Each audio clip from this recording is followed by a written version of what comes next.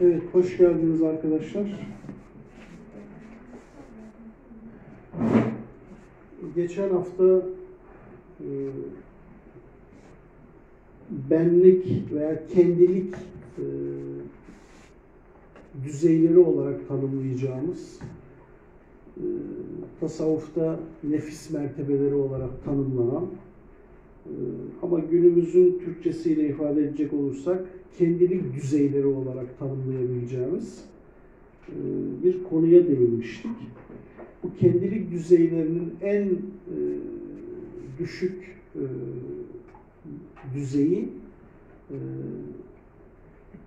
üzerimizde tahakküm kurmuş olan, üzerimizde bir baskısı, tahakkümü, e, yönlendirmesi e, olan bir durum. E, peki bu hani dışarıdan gelen bir şey mi? Hayır, dışarıdan gelen bir şey değil. Bizim içimizden gelen ve kendimizi öyle zannettiğimiz bir benlik hali. Mesela işte bizim günlük dilde bazen ne yaparız? İşte kendimi kötü hissediyorum deriz. Bu ne aslında?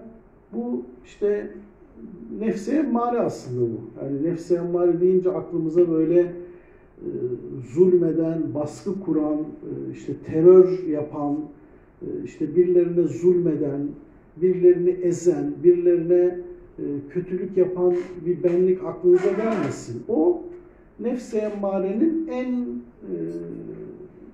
görünür ve en patolojik halleri.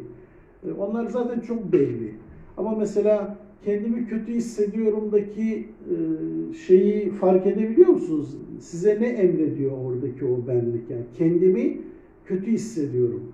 Nefsi emmare için en temel e, şey adım yani bir insanın nefsi emmaresi olması için en temel adım kendinizi kendiniz olmayan bir şeylerle tanımlamanızdır.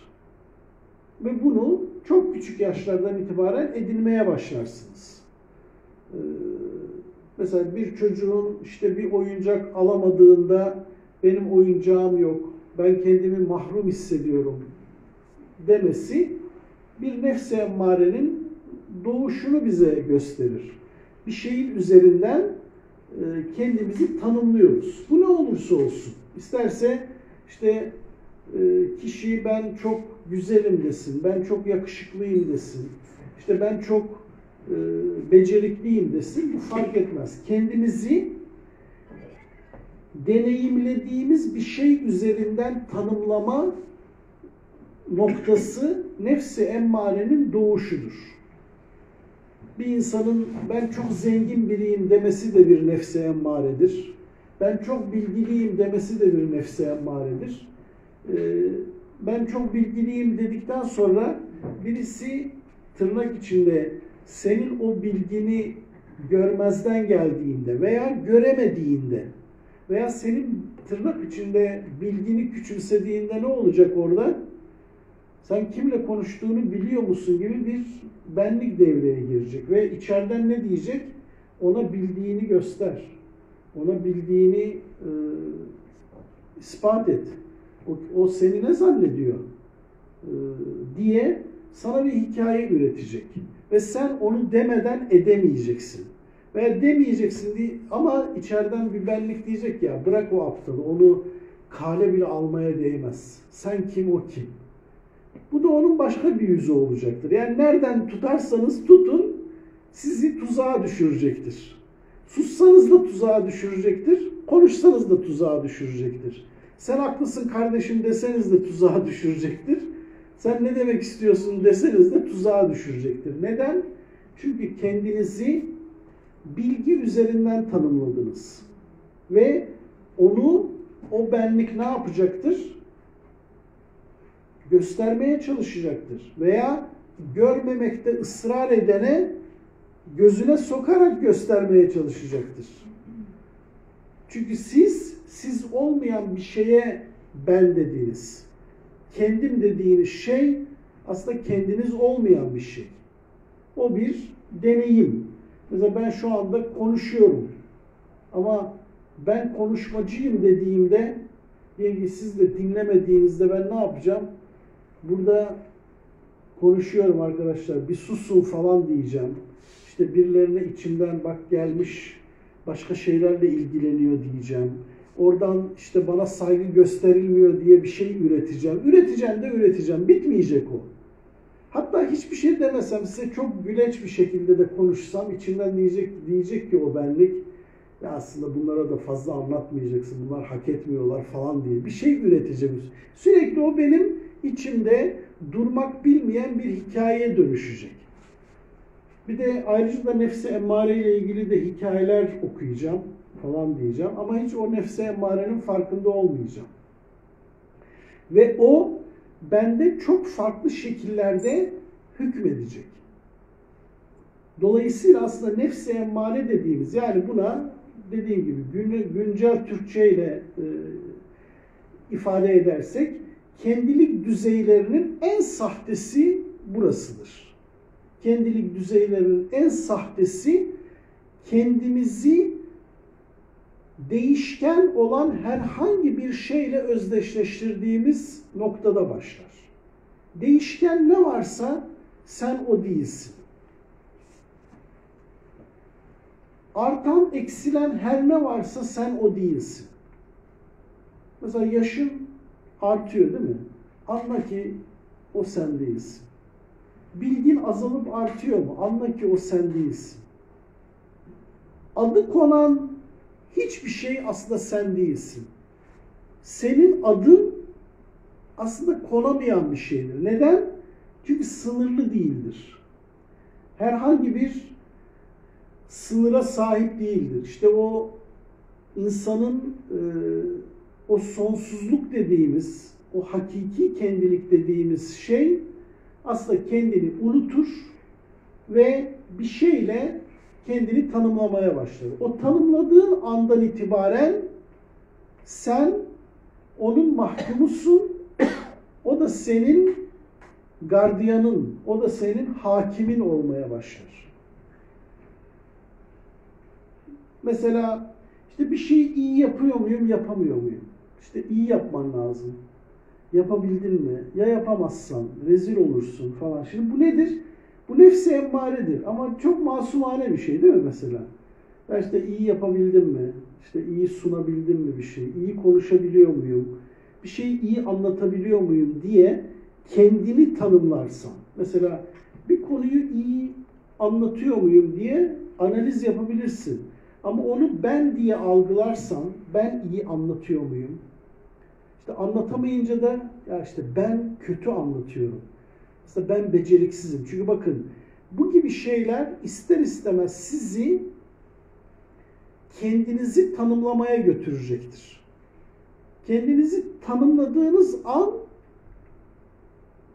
tutsak olmuş olursunuz. Yani ayaklarınız bağlanmış olur. Hani Kur'an'da diyor ya cehennemi anlatırken işte onların ayaklarında ve ellerinde zincirler vardır. Onlar zincirlere bağlı olarak götürülürler. Ne anlatıyor? Biz de aslında şu anda bunu yaşıyoruz. Kendimizle ilgili tanımların içinde hapsolmuşuz.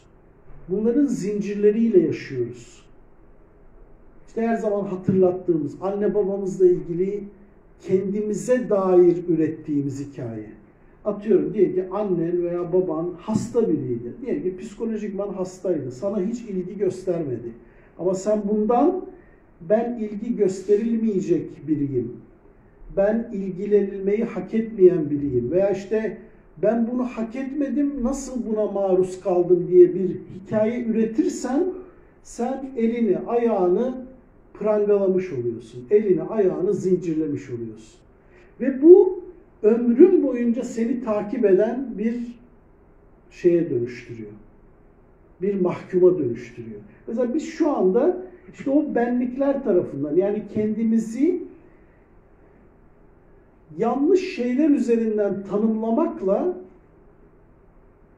kendimizi prangalamış bir halde yaşıyoruz. Yani istisnasız bunu yaşıyoruz.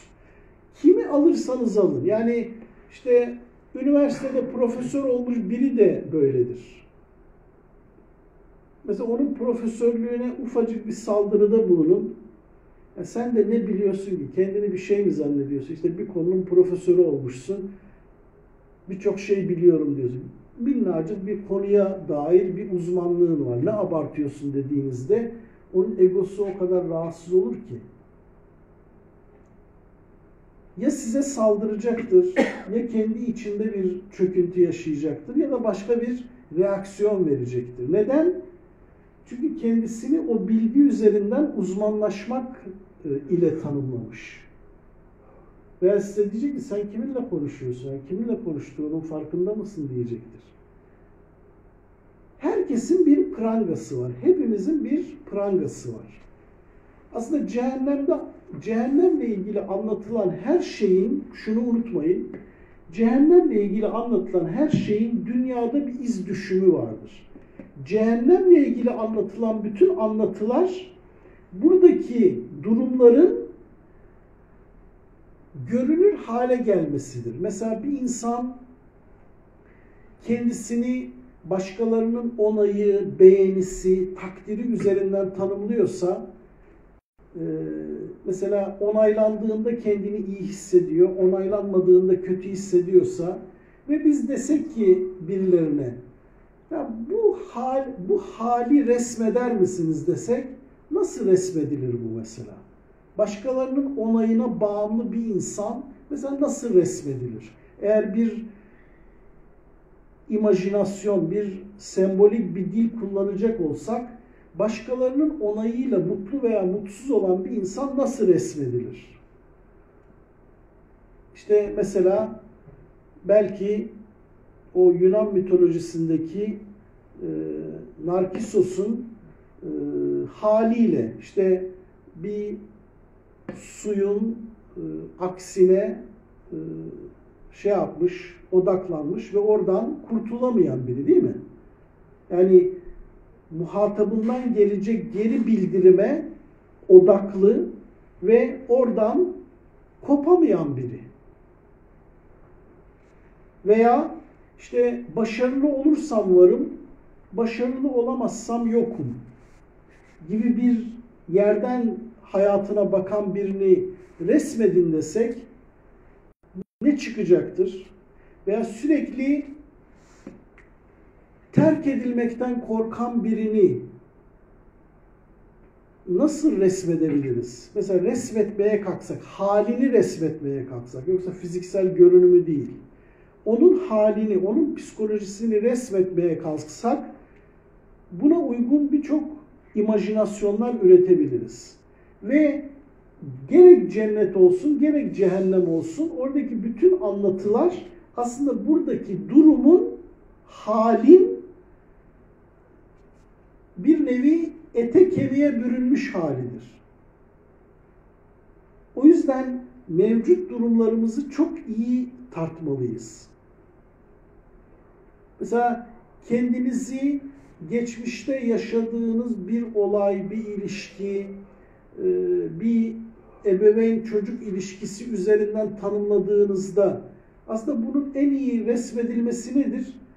Siz diyelim ki e, atıyorum yani üzerinde 5 yazan bir taşa kendinizi zincirlemişsinizdir desem çok garip kaçmaz değil mi? Yani 5 yaşında yaşadığınız işte yani o an işte kendimi aileme yabancı hissettim. İşte anne babama yabancı hissettim. Veyahut da işte beni asla anlamadıklarını hissettim ve ben neredeyim dedim. Kendinizi üzerinde 5 yazan bir e, hapishane taşına bağlamış, zincirlemiş gibi resmetsek bu halinizi aslında anlatıyor diyebiliriz değil mi? Ama görünürde siz serbestçe dolaşan bir insansınız. Ama içsel haliniz o 5 yaşında kendinizce travma olarak tanımladığınız, içinizde büyüttüğünüz bir durumun aslında bir yansıması. İşte aslında nefsi emmare dediğimiz şey biraz böyle bir şey. Yani kendimizi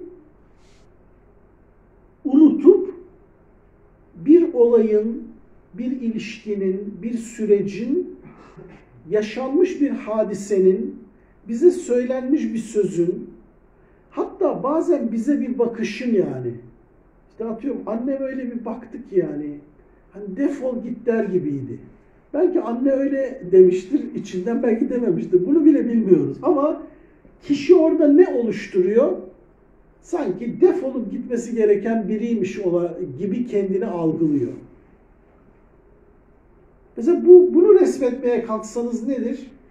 Sanki böyle etrafında hiç kimsenin olmadığı, yapayalnız, böyle çöle sürgün edilmiş bir insan resmedebilirsiniz değil mi? Bu insanın halini anlatmak için. Veya işte baktığınız zaman sürekli kendini mutsuz hisseden. Yani niye mutsuzsun? Ya işte hedeflerime ulaşamadım. Mesela hedefleri tarafından tutsak edilmiş bir insan değil mi bu aslında? Hedeflerine ulaşamadığı için ve bazen öyle bir şey olur ki ne yapsanız hedefinize asla ulaşamayacaksınızdır. Mesela böyle insanlar vardır. İşte diyelim ki herhangi bir nedenle okumamıştır. İşte 15 yaşından sonra okumaya başlar ama zihinde hep şu vardır. 7 yaşında başlasaydım okumaya şimdi kim bilir nerede olurdum. Peki o 8 senelik boşluk kapatılabilir mi? Hayır asla kapanmaz. Hep zihin şöyle der. Şimdi bu noktaya geldin ama bu noktaya 8 sene önce gelebilirdin. Dolayısıyla hep geç kaldın. Ömür boyu geç kaldın. Ömür boyu geç kalmış birisin. Bu nedir? Bu nefsi emmaredir. Ve nasıl bir nefsi emmaredir? Çıkışı olmayan bir hapishane gibidir. Seni çıkışı olmayan bir hapishaneye sokmuştur o benlik. Ve sen hiçbir zaman oradan çıkamazsın. Ve kendini topluma ispat etmek zorunluluğu hisseden. Ya ben de bunu yaptım kardeşim. Ben de az adam değilim yani. Ben de bir şeyler yaptım. Ya biz de boş değiliz. Vardır ya. Biz de boş değiliz yani. Peki neyin üzerinden dolu olduğunu düşünüyorsun? İşte diyelim ki bir şeyleri bilmek veya bir şeyleri yapmış olmak. Halbuki yaratan seni hani boş olarak gönderip git kendini doldur gel mi dedi acaba? Bak ayet çok açık. Ölümü ve hayatı yarattı ve sizi bu aleme gönderdi. Hanginiz güzel, iyi ve doğru davranacak? Yani hanginiz özünün istikametinde hareket edecek? Yoksa kendimizi doldurmaya gelmedik. Zaten boş değiliz aslında. Bak mesela bir çocuğa bak. Çocuk böyle boş mudur mesela? Mesela bir, bir yaşındaki bir bebeğe baktığın zaman o çocukta bir boşluk mu görüyorsun? Yoksa bir doluluk mu görüyorsun? Hatta biz niye bazen çocuklarla vakit geçirmeyi daha çok severiz? Yani çocuk bir yaşındayken böyle bomboş, donuk, böyle hani hiçbir şeyi olmayan, hiçbir varlığı, bilgisi, yeteneği olmayan biri gibi mi gelir yoksa dolu bir varlık olarak mı gelir? Değil mi? Böyle dolu hissi verir. Hatta biz yetişkinler tırnak içinde kendimizi biraz boş hissederiz. Onu daha doğal, daha masum, daha varlıkla dolu hissederiz. Hatta insanlar bazen çocuklarla vakit geçirmekten mutlu olurlar. Bu onları rahatlatır. Niye? Boş bir şeyle meşgul olduğun için? Hayır. Dop dolu bir varlıkla meşgul olduğun için aslında. Ama biz büyüdükçe kendimizi arzuların, beklentilerin, yaşadığımız olumlu veya olumsuz olayların üzerinden tanımlamaya başlıyoruz. Dikkat edin, her birimizin içinde bir boşluk var yani. Ne, ne zaman doğdu bu boşluk? Bakın bir bebeğin içinde böyle bir boşluk yok. Böyle bir boşluğu görmüyoruz. Değil mi? Biz onu boşaltıyoruz zaman içinde. Daha doğrusu ona sahte şeyler vermeye başlıyoruz. Mesela işte büyüyünce ne olacaksın falan. Ne olacaksın diyoruz yani. yani büyüyünce hangi meslekle uğraşmak istiyorsun? Falan demiyoruz yani. Ne olacaksın? Olmak tam bahsediyoruz. Ve çocuk bunu duyunca aslında olmadığını düşünmeye başlıyor. Çünkü ona ne olacaksın diyoruz. Yani demek ki sen şu an olmamış bir varlıksın. Olmayan bir varlıksın, olacaksın. Farkına varmadan kendimize e, attığımız kazığı çevremize de yansıtıyoruz. Hiçbir şey olamadı diyoruz. Mesela kendimize demiyor muyuz bunu bazen? Hiçbir şey olamadı. Ve olmaya çalış. Veya işte ben şu oldum. Bir de sahte şeyler üzerinden de doluluk üretmeye başlıyoruz. Bak ben okudum, bilmem ne oldum. Yani ne oldu? Oldun mu? Daha önce olmamış mıydın? Daha önce boştun, şimdi mi doldun? Bak hep bu hikayeleri üretiyorsun. Ama hepsi koca bir yalan.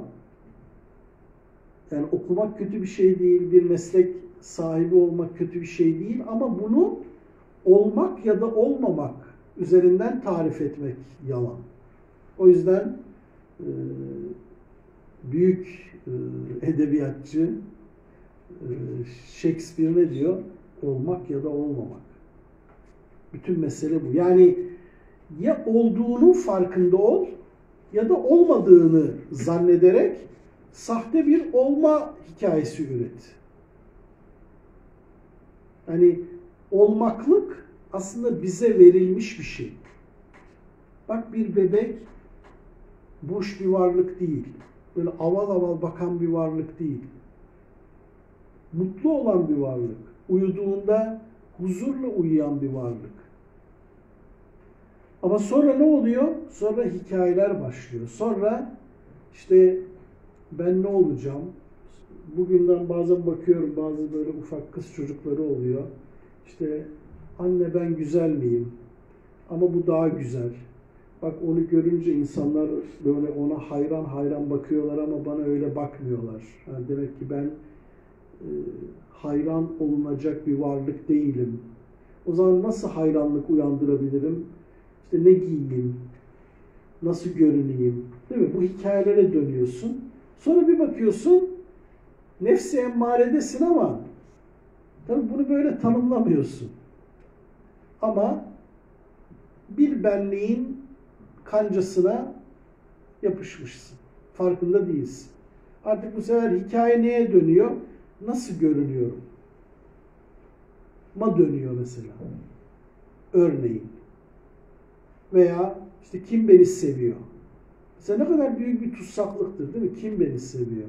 Ne bileyim ya değil mi? Hani bilmiyorum.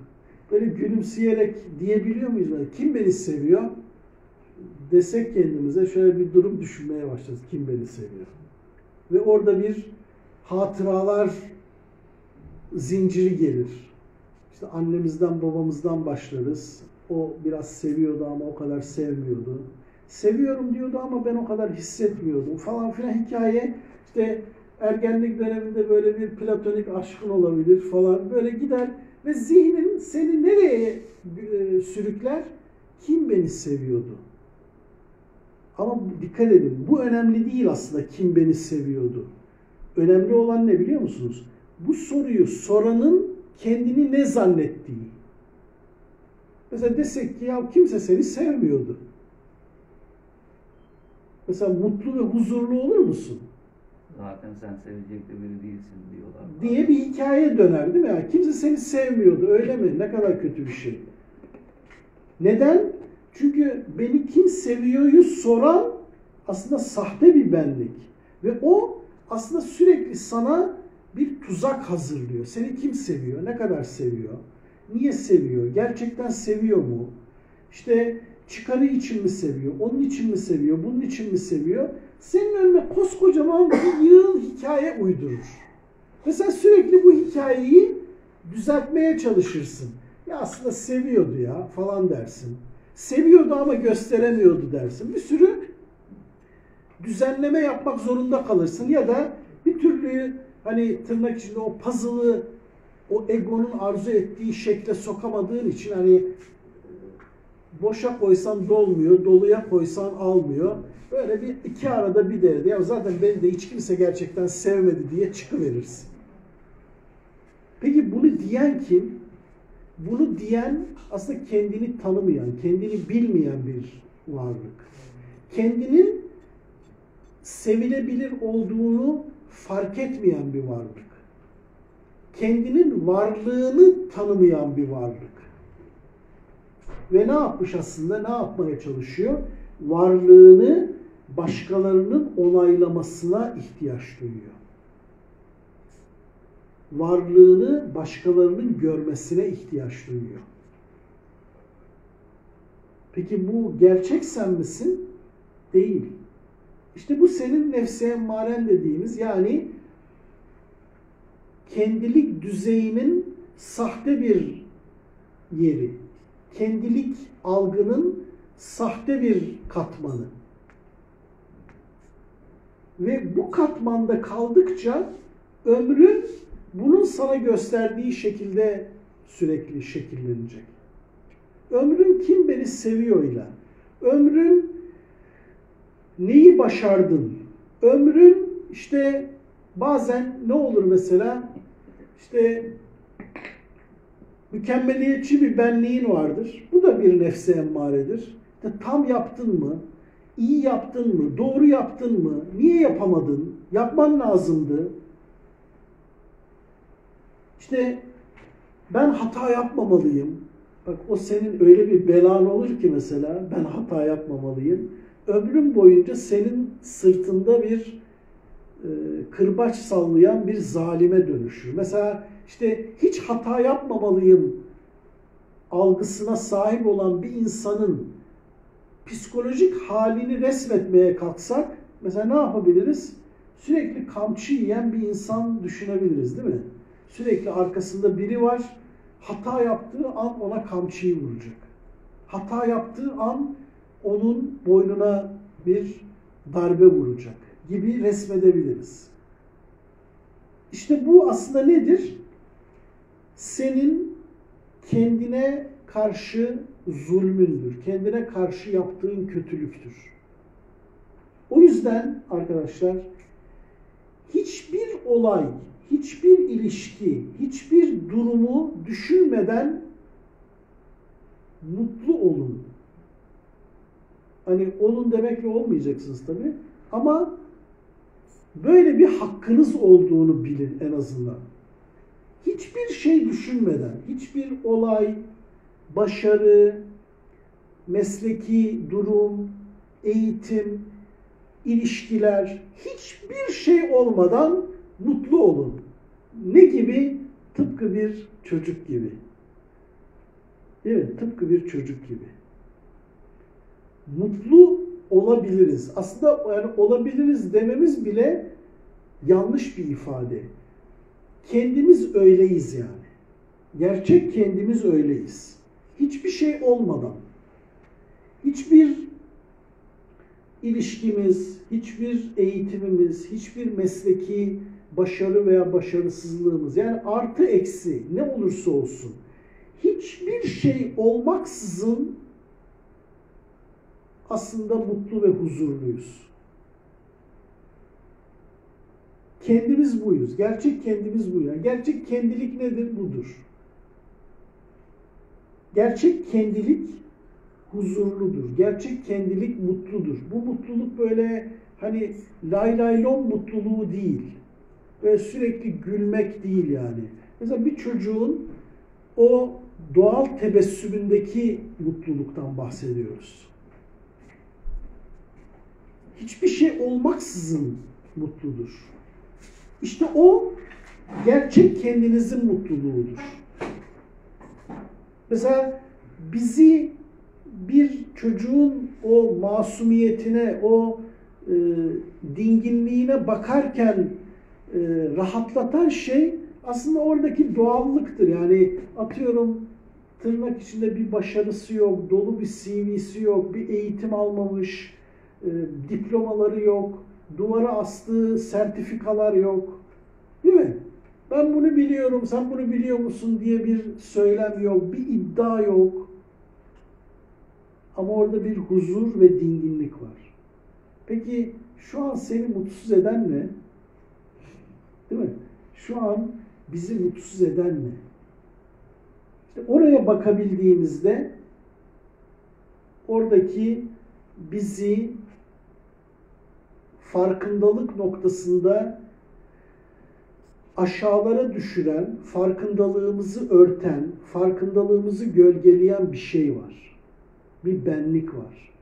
İster buna ben tırnak içinde deyin ki ben Allah'a ulaşmak istiyorum. Bu bile nefse emmaredir. Bakın bu bile nefse emmaredir. Diyeceksin neresi nefse emmare? Allah'a ulaşamamışlık hikayesine kapılmış bir benlik var burada. Bırak onu da bırak. Yani işte biz ne zaman Allah'a ulaşacağız? Ne zaman hakikati bulacağız? Ya bak bunu da bırak. Çünkü bu da nefse emmare aslında.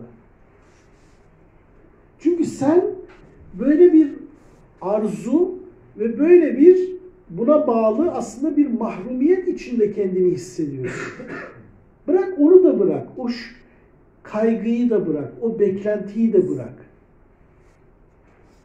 Bakın ne kadar masumane ve çok hani dini olarak çok takdir edilecek bir şey değil mi? Yani çok çaba gösteriyor ama bir türlü Allah'a varamıyorum. Ya bu düşünceyi de bırak. Bırak. O zaman kalacak olan sensin. Bu düşünceleri bıraktığın zaman geriye kalacak olan bir şey var aslında. O senin doğal huzurun, doğal mutluluğundur. O yüzden bütün kadim öğretiler bize kendiliğimizi arındırmaktan bahseder.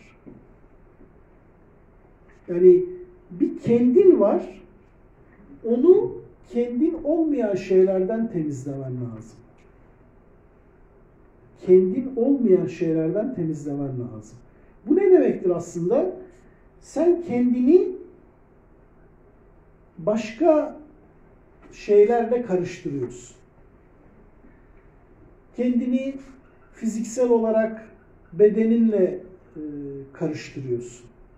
Beden olmadığın halde bedenin üzerinden tanımlamalar yapıyorsun. Mesela belki siz şaşıracaksınız. Geçen böyle tanıdığım bir arkadaşa bir arkadaşın Instagram sayfasındaki şeyi gösterdim. Böyle çok dekolte giyinmiş birisi. Hani biraz akıllı olduğunu düşündüğüm birine gösterdim. Bak dedim burada aslında ne kadar büyük bir e, yanılgı var, ne kadar büyük bir aldanış var. Gösterince bana dedi ki ne kadar iddialı. Ve emin olun buna üzüldüm yani. Çünkü bu insan bile böyle bir fotoğrafı iddialı bir ifadeyle tanımlıyor yani. İddialı bir fotoğraf, iddialı bir e, şey.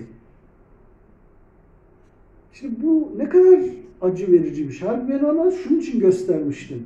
Aslında burada sevilmediği için, önemsenmediği için, anlaşılmadığı için acı çeken bir insan var ve bu insan sevgi elde etmek için bedenini e, aşırı bir biçimde gösterme tuzağına düşmüş aslında. Burada bir nefsi emmare var. Burada iddia yok ya. Ne iddiası olabilir burada? Ama bakın öyle bir fotoğrafa bakınca işte iddialı, ne kadar cesur bir poz vermiş diye bakıyoruz yani. Çünkü biz de aynı hikayenin içindeyiz. Orada sen bir iddia mı görüyorsun? Yoksa orada bir tutsaklık mı görüyorsun acaba? Orada bir kendini unutmak mı e, görülüyor? Orada iddialı bir duruş mu var? Yoksa bir kendini unutmuşluk mu var? Kendini bedeniyle özdeşleştirmişlik mi var? O yüzden çok yaygın bir tuzağın ve yanılgının içindeyiz. O yüzden aslında hani az bir dikkatle aslında orayı, o yanılgıyı keşfedebiliriz. Ama az bir dikkat etmemiz gerekiyor. Ama o kadar geçen de bahsettiğim gibi o kadar yaygın bir şey var ki anında hipnotize oluyoruz yani. Çünkü yaygınlaşmış bir şey var. Yaygınlaşmış olan bir şey o tırnak içinde sahte benliklerimiz tarafından şöyle algılanıyor. Herkes mi yanılıyor? Yok be o kadar da değil yani. Yani ya öyleyse o zaman ben buradan nasıl çıkacağım? Sürekli demokratik seçim mi yapacağız? Hani doğru nedir, yanlış nedir, gerçek nedir, sahte olan nedir diye seçim mi yapacağız değil mi? Yoksa ilkesel bir yerden mi bakacağız? Çünkü bakın nefsi emmarenin de, e, en önemli tuzaklarından birisi bir yerden sonra ya herkes hata yapıyor olamaz. Veya işte e, ama herkes öyle düşünüyor. Bir ben öyle düşünmüyorum ki. Bu nefsi emmareyi rahatlatan bir şey. Hani böyle okula geç kalırsın. Bir tek sen geç kalmışsan berbat bir durumdur. Ama bakarsın onlarca geç kalmış kişi var o zaman ego biraz rahatlar. Halbuki aslında geç kalmışsın. Bu değişmiyor ki yani. Geç kalmışsın. İsterse bütün okul geç kalsın. Ne fark eder? Hiçbir şey fark etmez. O yüzden mesela kutsal metinlerde böyle çok şey vardır. Böyle bir şehir neredeyse tümü hakikatten, kendini bilmekten uzaklaşmıştır. İşte yaratıcı bir peygamber gönderir veya işte bir peygamberin mesajını duymuş olan bir kişi oraya gider. Onu taşlarlar, yok sayarlar, dinlemezler, alay ederler. Bazen öldürürler. Bu gerçeği değiştirir mi? Değiştirmez aslında. O zaman bakın. Yani işte bazen diyor ya herkes mutsuz. E ne yapayım? Yani herkes mutsuz. Öyleyse ne yapacağız? İnsanların mutluluk hikayelerinin üzerinden kendimiz de mi bir hikaye üreteceğiz? Değil mi? Bakın kitaplarda var yani. Çok kitap. Bir in, internete girin. Mutluluk nasıl elde edilir? Mutluluğu kazanmanın yolları diye girin. Önünüze yüzlerce şey çıkacaktır. Aslında cevap basittir. Yani mutluluk kendini bulduğunda gerçekleşen bir şeydir. O yüzden bazen akıllı bazı psikologlar diyorlar ki mutluluk bir tuzaktır diyorlar. Mutluluk Tuzağı diye bir kitap var. yani ne aslında? Diyorlar ki ya bize mutluluk mutluluk arıyoruz ya. Tabii yani psikolojik düzeyden baktığında diyor ki adam ya öyle hani mutluluk bulamayacağım bir şey. Mutluluk anları bulabilirsin diyor. Mutluluk anları bulabilirsin. Öyle sürekli mutlu olamazsın. Sürekli bir mutluluk yoktur. O zaman diyor mutlu olma tuzağına düşme. Mutlu olduğun anlar olursa şükret ama mutluluk arama çünkü mutluluk arayışı bir tuzağa dönüşür. Bu psikolojik düzeyde çok doğru bir şey. Ama spiritüel düzeyde değil. Spiritüel düzeyde sen gerçek kendin olarak mutlu ve huzurlusun. Yani mutluluk senin doğandır. Huzur senin kendiliğinin doğal bir parçasıdır. Yani hatta parçası bile değildir. Doğasıdır aslında. Yani ışığın doğası nasıl aydınlıksa bir gülün doğası nasıl onun kokusu ise aynı şekilde yani ayrılmaz bir şeydir bu. O yüzden Kur'an'da bunun karşılığı saadet kavramıdır. Veya itminan kavramıdır. Mesela mutlu olduğumuzda aslında ne hissederiz? Geçici bir itminan. Yani böyle bir bir şeye ihtiyacımız yoktur o an. Diyelim ki birisi bize sevdiğini söyler. O an sanki böyle bir şeyler yerli yerine oturmuş. İşte sen benim her şeyimsin. Veya diyelim ki böyle yıllarca çalışıp bir başarı noktasına geldik. işte 10 yıl çalıştın doktora. İşte doktora imzalandı ve onaylandı. Bir anlık böyle oh be dersin. Hani bir şeyi bulmuş gibi, bir şey yerli yerine oturmuş gibi. Veya bir sporcusun, dünya şampiyonu oldun, olimpiyat şampiyonu oldun, bir şey oturdu gibi. Aslında o nedir? Geçici, psikolojik düzeydeki bir itminandır.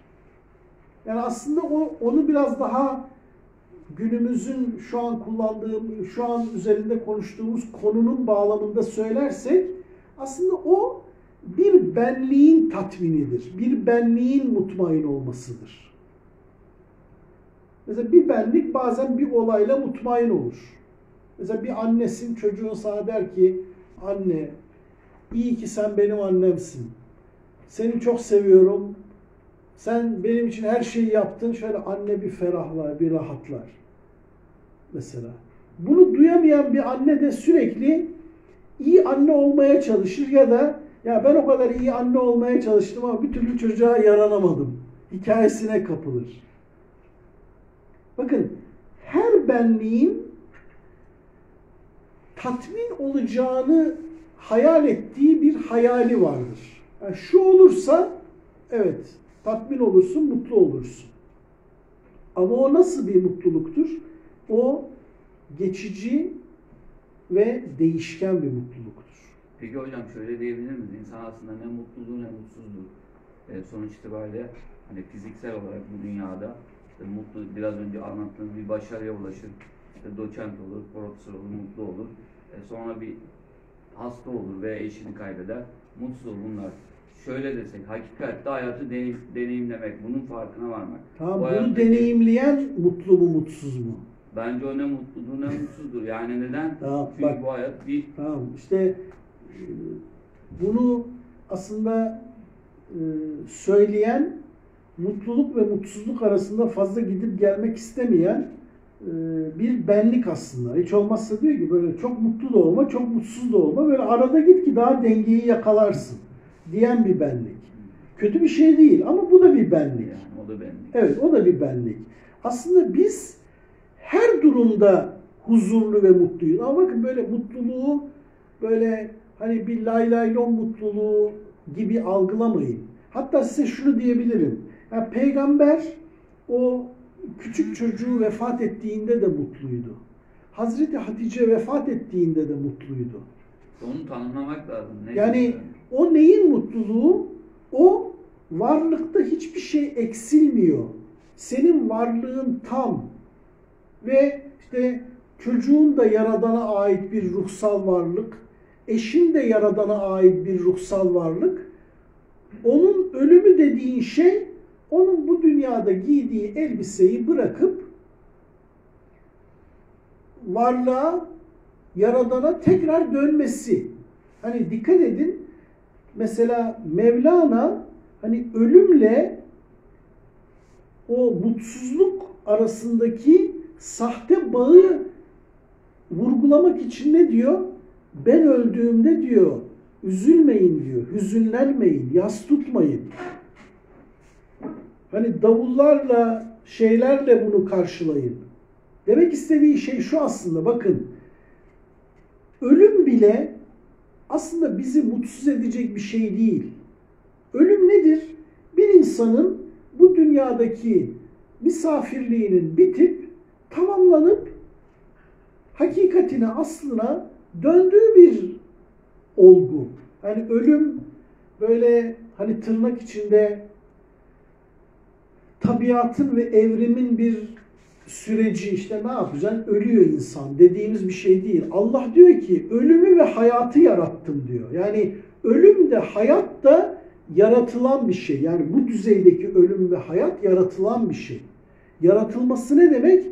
İnce bir hesabı var. Bu böyle hani bırakıyorsun ölüyor. Hani şey gibi arabayı bırakırsan 10 sene sonra çürür gider. İşte bir evi hiç temizlemezsen toz olur falan değil mi? Yani Böyle bırakıyorsun öyle oluyor. Hani der misin ben kirletmeyi düzenledim demezsin değil mi? Hani ki bırakırsın kirlenir zaten. Ölüm ve doğum öyle bir şey değil. Ölüm ve doğum Allah'ın özel iradesiyle, takdiriyle, e, hikmetiyle, sonsuz ilmiyle oluşturduğu bir şey. O yüzden ölüm de çok mucizevi bir şey. Çok fevkalade bir gerçeklik. O yüzden ölüm öyle üzüleceğimiz, acı çekeceğimiz bir şey değil. Ama ne taraftan bir hüznümüz oluyor? Dünyadaki o alışkanlığın bitmesinin getirdiği geçici bir hüzün oluyor aslında. Hani alışmışsın, telefon açıyorsun, arıyorsun, sesini duyuyorsun. İşte sabah kalkıyorsun, birlikte kahvaltı yapıyorsun. Sonra işte telefonlaştığın, birlikte kahvaltı yaptığın insan e, kullandığı beden itibariyle bedeni bırakıyor. Artık o ruhsal özüyle Yaradan'a dönüyor. Ve sen orada geçici bir ayrılık yaşıyorsun. Ölümün hüznü budur yani. Yoksa ölüm mutluluğumuzu, huzurumuzu bozan bir şey değil. Anlatabildim? Öyle bir niteliğe sahip bir şey değil. İşte o yüzden Mevlana diyor ki ben öldüğüm zaman diyor gülümseyin diyor, mutlu olun, neşeli olun.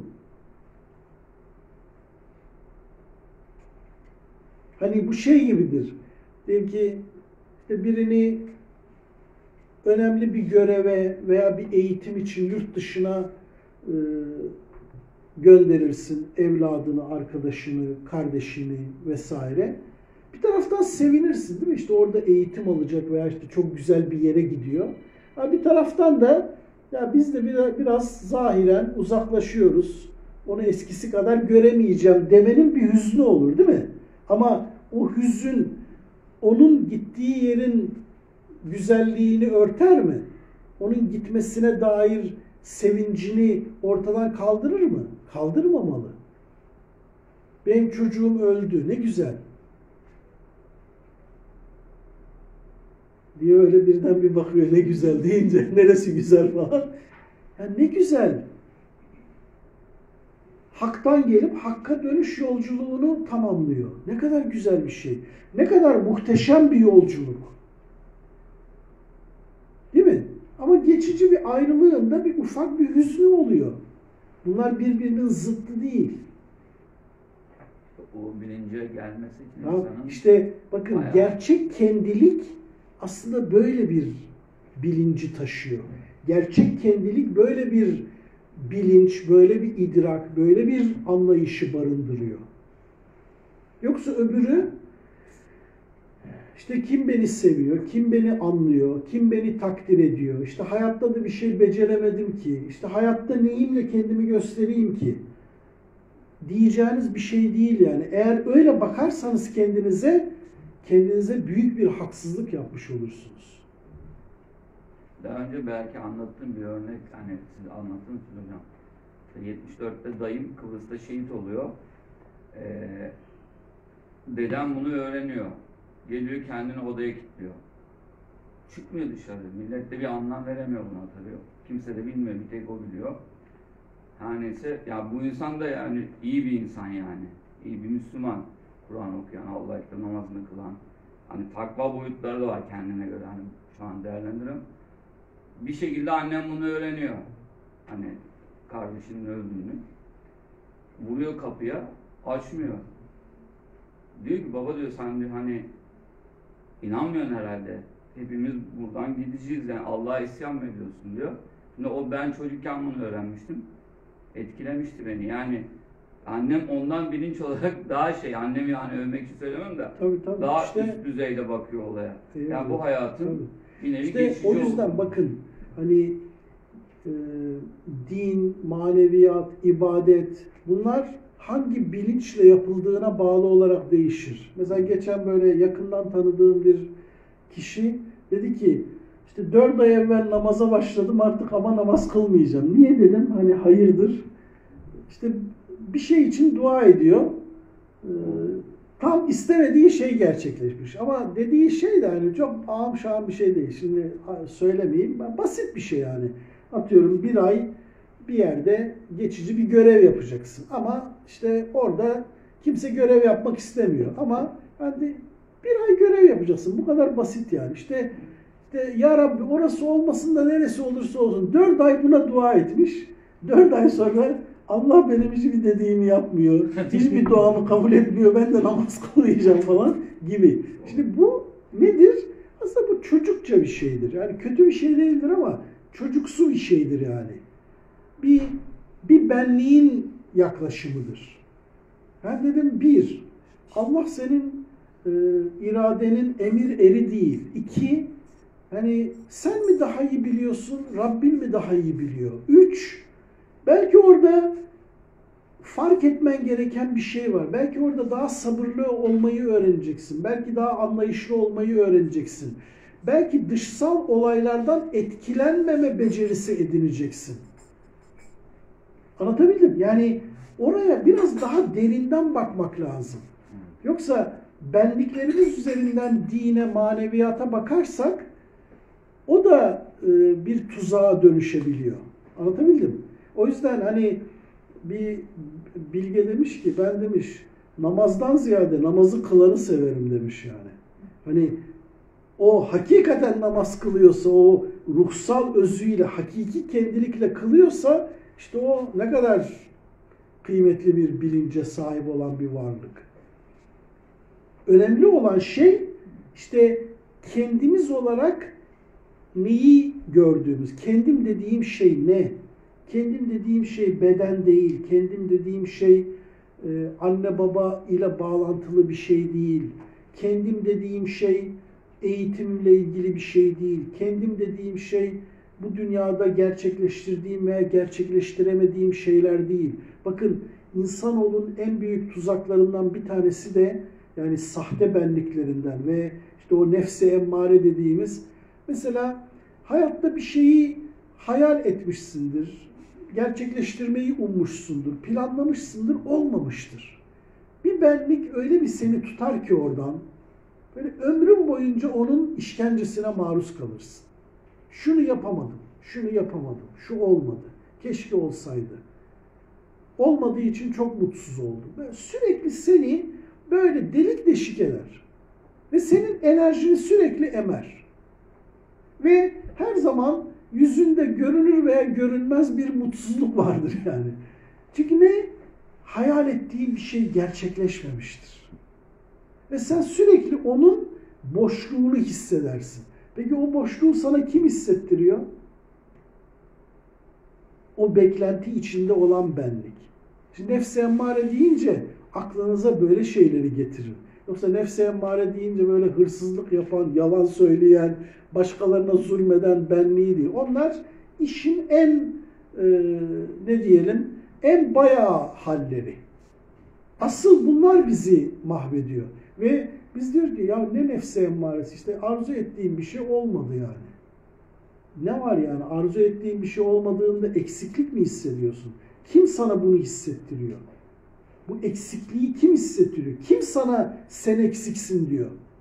Allah mı söylüyor? Allah huzuruna gittiğin zaman üniversiteyi bitiremedim, son sınıftan ayrıldım dediğinde bunu kenara koyun falan mı diyor?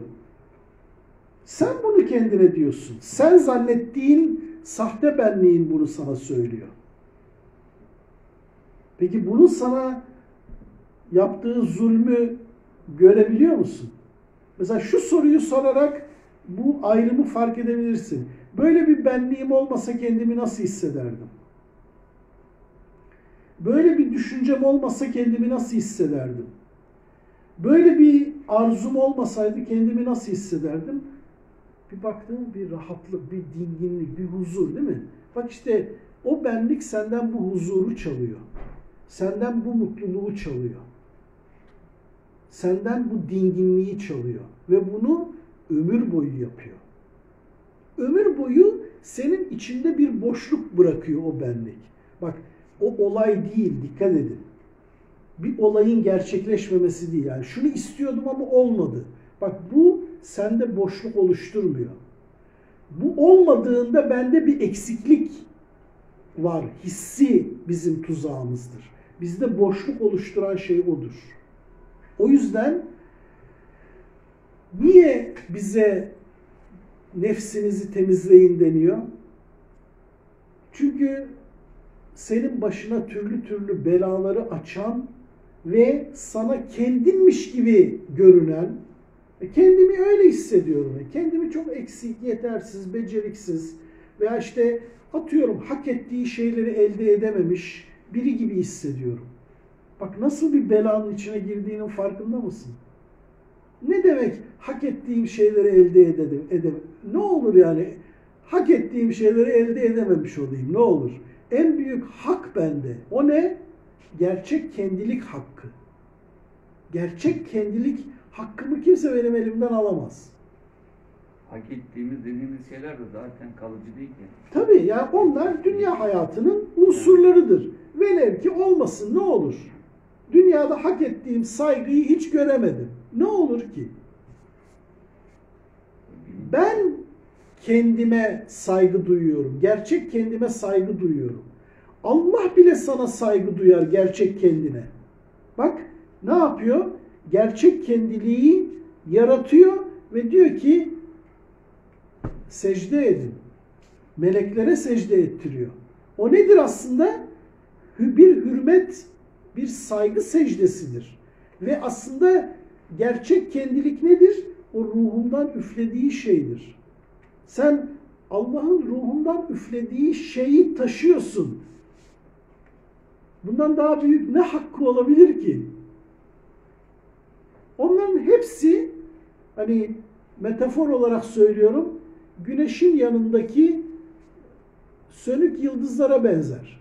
Şimdi tabi demeyin ki güneş de bir yıldızdır falan. Yani metafor olarak söylüyorum. Yani asıl olan ortaya çıktığında diğerleri sönükleşir. Ya benim dünyadaki hakkım tamam biri hakkımı yemiş tırnak içinde biri ne olur ki beni beni yememiş olsun, hakkımı yemiş olsun ama beni yememiş olsun. Ama sahte benlikler beni yiyor. Bırak hakkımı yemesini beni yiyorlar. Beni ortadan kaldırmaya çalışıyorlar. Hakikatte kaldırabiliyor mu? Hayır. Sadece beni benden gizliyorlar. Beni kendimden alıkoyuyorlar. Bana sahte bir yerden e, tanım getiriyorlar. Kendimi kötü hissediyorum. Ya niye ben kendimi kötü hissedeyim? Niye ben kendimi mutsuz hissedeyim? Bana bu oyunu kim kuruyor?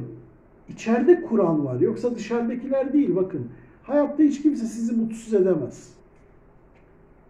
Mutsuz olmanız için o dışta gerçekleşen olayı kendinizle ilgili bir kötülük, bir mutsuzluk hikayesine döndürmeniz lazım. Hep veriyorum ya Hazreti Yusuf örneğini. 11 kardeşi de attı onu kuyuya ama o mutsuz olmadı. Niye mutsuz olmadı? Çünkü kendisini kardeşlerinin davranışı üzerinden tanımlamadı.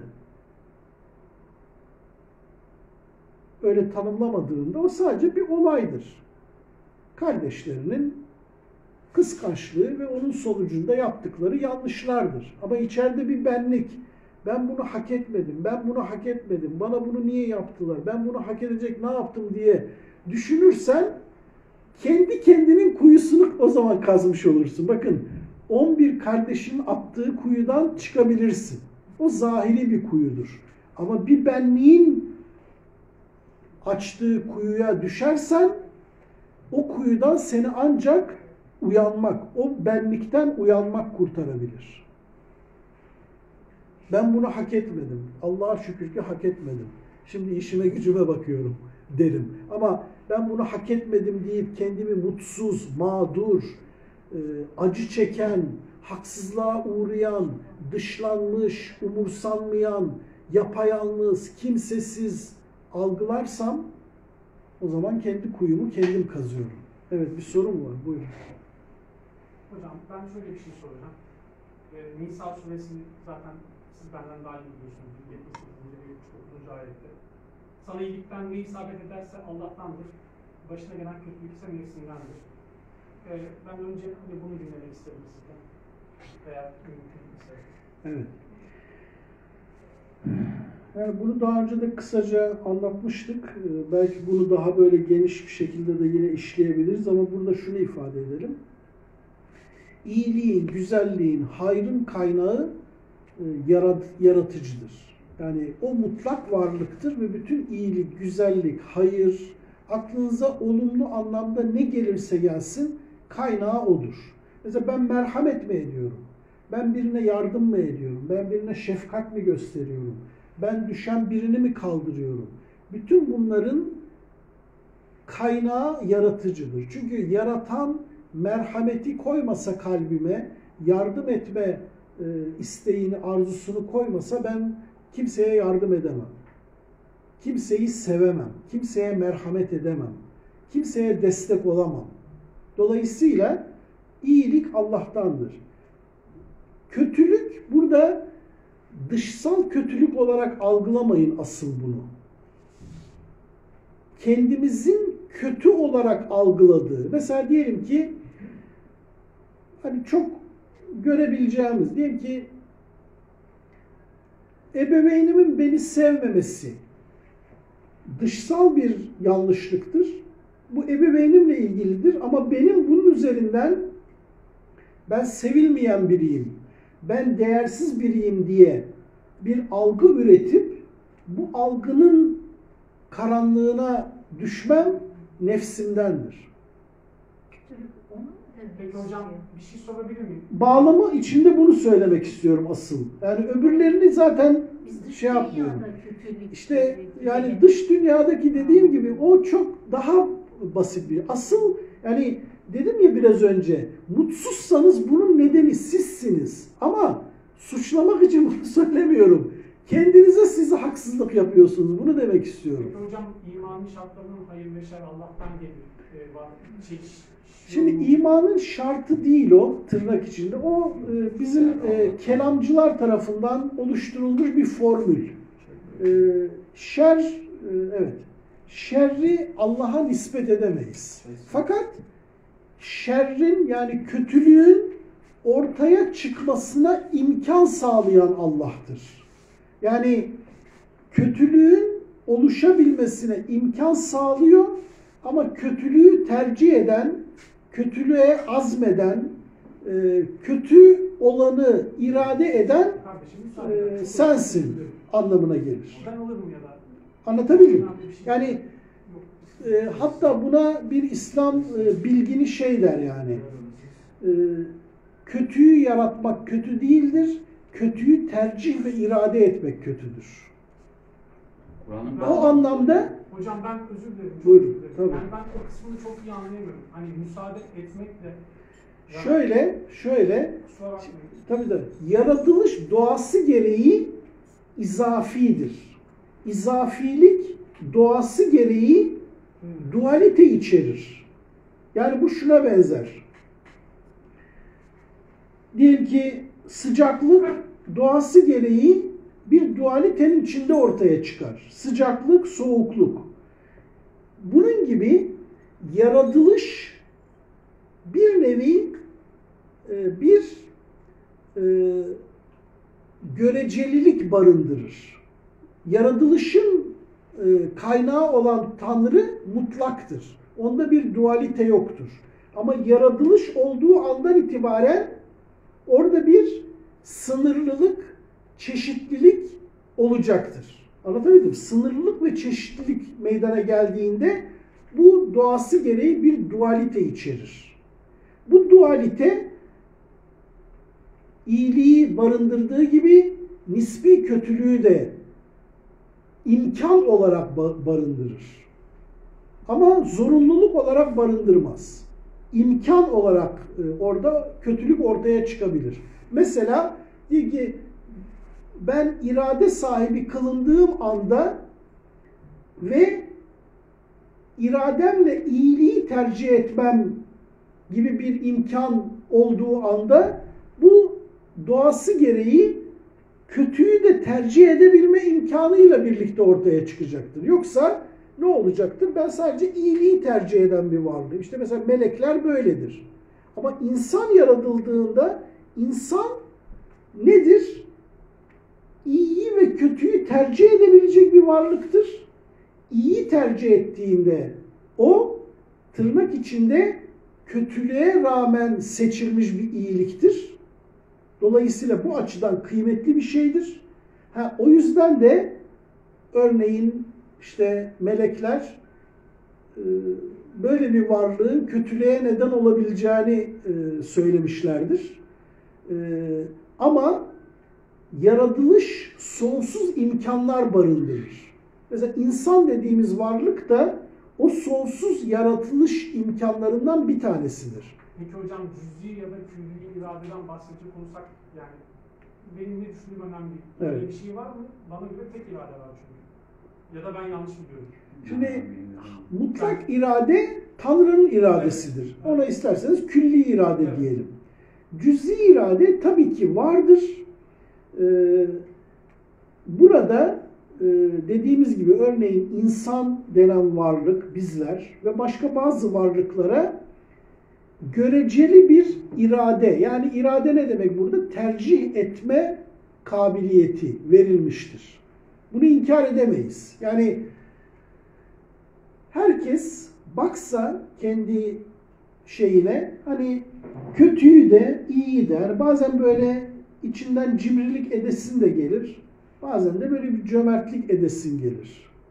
Anlatabildim? Yani insan biraz kendi iç dünyasına baksa orada tercih edebilme kabiliyeti olduğunu görür. görür. Ha, biri derse ki tercih etme kabiliyeti yok. O da onun bir şeyidir, görüşüdür. Yapacak bir şey yok. Ama ben kendi vicdanıma baktığımda tercih edebildiğimi görüyorum. Yani sınırlı da olsa bir cüz'i dediğimiz yani sınırlı iradeye sahibim. Hocam Ama şöyle bir şey İcaz, pardon çok özür dilerim. Buyurun. İcaz suresine göre e, sınırlı bir irade, yani benim kendi algıma göre sınırlı bir iradenin olmayışını en azından ben kendi kapasiteme göre çıkartıyorum. Hocam özür dilerim. Neyden çıkarıyorsun? Bir dakika. Çünkü tek bir varlık var ve katı suretle inanıyorum olduğuna ve bizim onun varoluşu üstünden bağlı olmamız durumu söz konusu.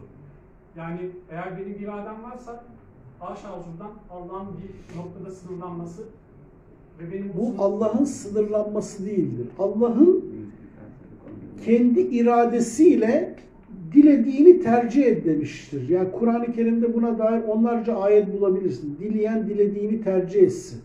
Bu bir zalim zulmederken Allah'ın iradesini sınırlıyor değildir. Mesela ben birine derim ki arkadaşım bak sana şöyle bir yol gösteriyorum ama bunun aksini de tercih edebilirsin.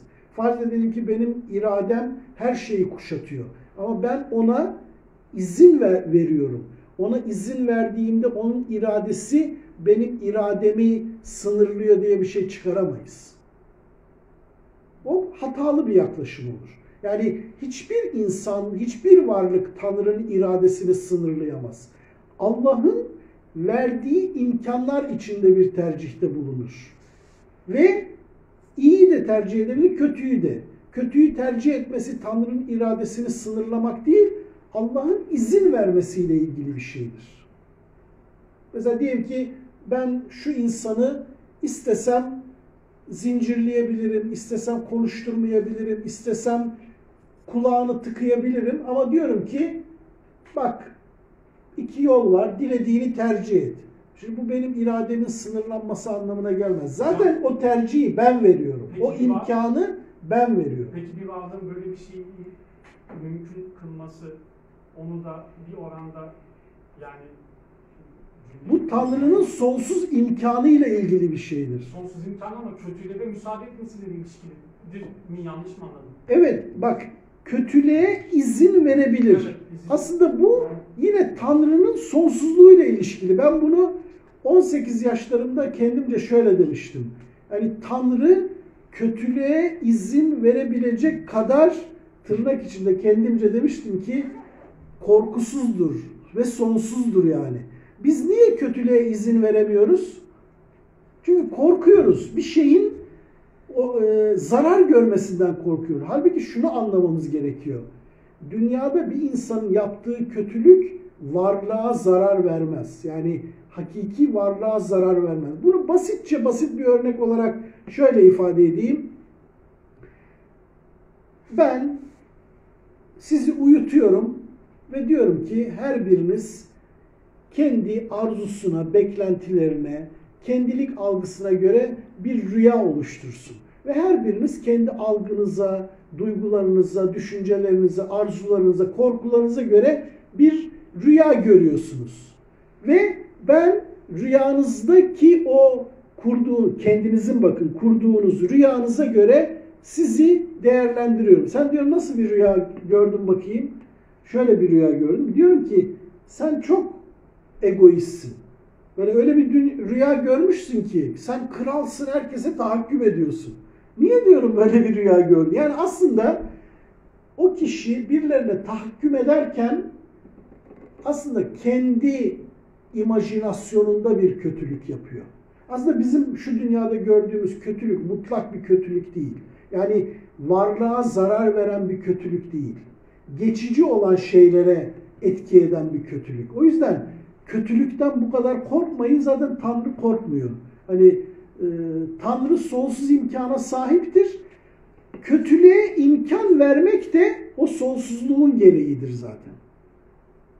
Tercih hakkı yok mu hocam? Yani cennet Tabii cehennem canım, var. tabii. Rahat ol orada. Bir, orada rahat hayır, ol. Sen cennet şey cehennem var. Arkadaş şunu sordu mesela. Hani e, şey kötülük, şer Allah'tan. Halbuki Kur'an'da der ki mesela madde anlamda işte sizin başınıza gelen her türlü olumsuzluk kendi elinizde yapıp getirilir. Mesela basit bir örnek. Bizde deprem oldu. 7 tane çöktü. Bugünkü yani bilime göre adamlar 10 şiddetinde depreme dayanıklı yapıyor. Bu insan iradesiyle olmuş bir şey. O yani ölümler. Ha, tabii ki mutlak anlamda yok olmuyoruz. Tabii. Yani, Yani orada burada e, insan irade kötülüğü, dışına çıkaramayız. Yani. kötülüğü şöyle diyeyim varlıksal bir şey gibi görmeyin. Yani kötülük aslında iyiliğin eksikliğidir. Anladın mı? İyiliğin eksikliğidir. Ve Yaradan bu imkana izin vermiştir. Yoksa şer, kötülük bir varlık barındırmaz. Varlıktan kaynaklanmaz aslında. Varlığın iyiliğin, güzelliğin eksilmesinden kaynaklanır. Ve bu bir imkan olarak izafi düzlemde mümkün kılınmıştır. Hocam şunu anlayamıyorum. Mesela arkadaşın söylediği bağlamda aynı deprem Japonya'da da oluyor. O kadar insan ölmüyor işte. Evet, İnsan iradesi. Acele o etme, kadar, acele o kadar etme. insan ölüyor. Yani. Ee, bunu Allah'a da bağlayamayız. Allah'tan kötülük Allah'tan Bakın, değil zaten. bakın. Ee, nasıl burada da aynı deprem oluyor? Hı. Ölüyoruz. Bir sürü insan ölüyor. Hırsızız. Her Ee, şeyden çalıyoruz. onlar da insan, biz de insanız. Hepimizi bir anne doğuruyor. Ben bu kısmını hani yanlış anlamayın sakın Hoca'dan hiçbir şekilde e, yani Allah kalbimi biliyor kötü bir niyetle sormuyorum. Bu iyilik ve kötülük kavramı çok ciddi şekilde bende sıkıntı yaratmaya başladı çünkü. Allah'a tabii ki bağlayamıyorum ama kafamda bunu anlayamıyor ve peygamberi hiç bağlayamıyorum. E, fakat müsaade etme kısmını da anlayamıyorum. Yani Hazreti Ali'nin katli vesaire her şey, her türlü kötülük Evet, neyse evet, benim işte bak- içindeki kötülük de dahil. Evet. E, İstemiyorum öyle olmak ama Evet, işte- yapıyorum. İşte şunu diyeyim, kötülük hakiki varlığa zarar veren bir şey değil. Yani diyelim ki Hazreti Ali'ye kötülük yapıldı. Bu Hazreti Ali'nin varlığına bir zarar veren bir şey değildi. Ama Hazreti Ali'ye kötülük yapanlara kötülük yapma müsaadesi verilmesiyle ilgiliydi. Yoksa işte örnek yani Hazreti Yusuf kendisine kötülük yapıldı diye bir yani kendisi derken öz varlığına bir kötülük yapıldı gibi algılamadı.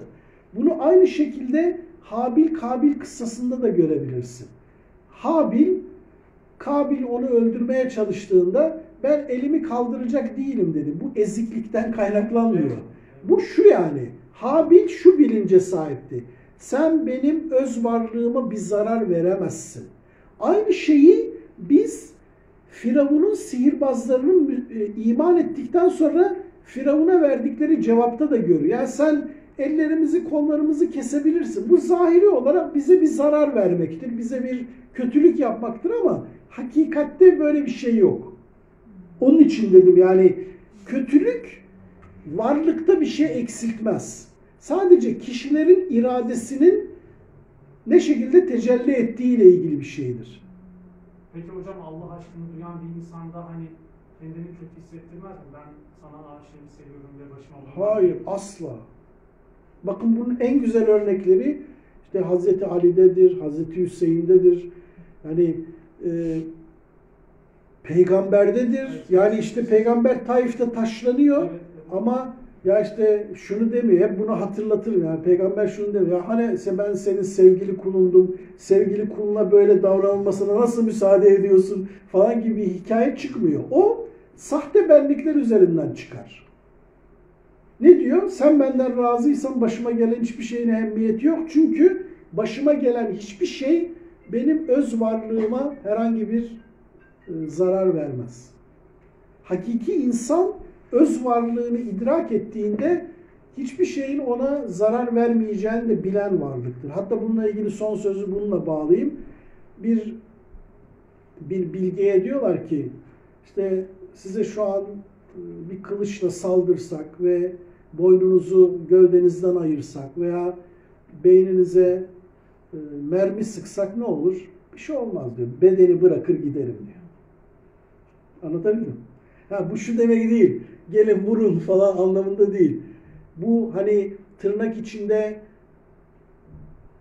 bedeni korumamak anlamına da gelmiyor. Ama bedenimi korurken kendimi koruduğum hatasına düşmeyeyim. Bak çok ince bir noktadır bu. Bedeni de koruyacağım. Çünkü beden de bana izin verilmiş bir e, şey, imkan. Ama bedenimi korumak kendimi korumak demek değil yani. E ben elbisemi de korurum. Ama koruyamadığımda elbisem yırtılmış olur. Elbisemi elbisem yırtıldığında ben de yırtıldım diyorsam kafada bir problem var demektir. Kötülük algısı daha çok nefsi emmare ile bağlantılıdır diyebilir miyiz acaba? Tabii ki, tabii ki.